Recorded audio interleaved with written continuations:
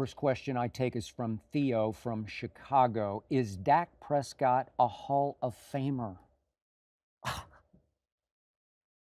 when I first saw this question, I, I started to laugh and then I almost started to cry. Then that big part of me that's a delusional, lifelong, diehard Dallas Cowboy fan, the part that controls my deepest psyche, took over. And I actually let my mind go to, well, well, maybe somehow miraculously in the next three or four years, Dak will qualify as a Hall of Famer. And then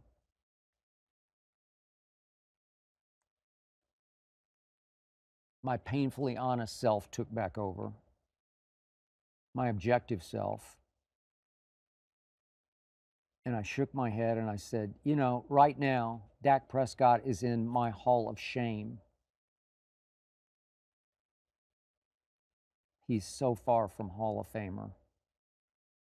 I mean, Dak Prescott is now two and four in the postseason. Two and four is Dak Prescott. He's had his moments. He's made two Pro Bowls.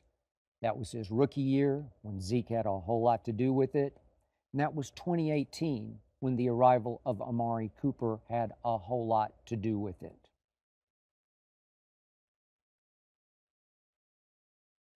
I stand by what I said on Undisputed on this podcast last year.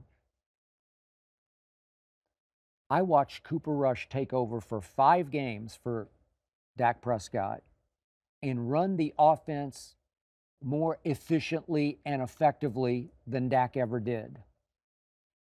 I'll be real comfortable this year if Cooper Rush is forced to take back over for X number of games. I'll be real comfortable because he is the realest deal.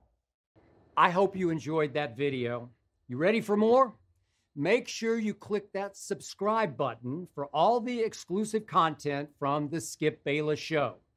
And don't forget to check out the full episode of the show wherever you get your podcasts by clicking the link in the description.